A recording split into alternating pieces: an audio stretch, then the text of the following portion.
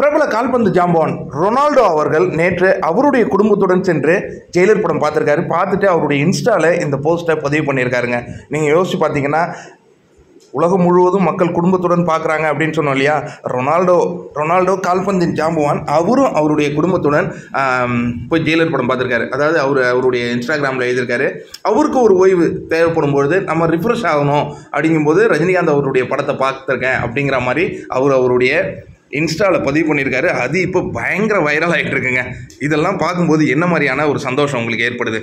ஏன்னா இந்த படம் வந்து கொண்டாடப்பட்டு கொண்டிருக்கின்றது. உலகம் முழுவதும் கொண்டாடப்பட்டு கொண்டிருக்கின்றதுக்கான ஒரு மிகப்பெரிய அத்தாட்சி. இந்த மாதிரியான இ- இந்த மாதிரியான விஷயங்கள்லாம் வேற எந்த தமிழ் பட ஹீரோவுக்கு நடக்குமா என்னன்னு எனக்கு தெரியல. சரி இப்போ அதுக்கு அடுத்தது போவோம். நேற்று அதாவது நேற்று ஒர்க்கிங் டே தேர்ஸ்டே இல்லையா? பதினேழாம் தேதி. பதினேழாம் தேதி நீங்கள் பார்த்துக்கிட்டு இருக்கிறது ஜெயிலர் படத்தினுடைய புக்கிங் நிலவரம் தான்.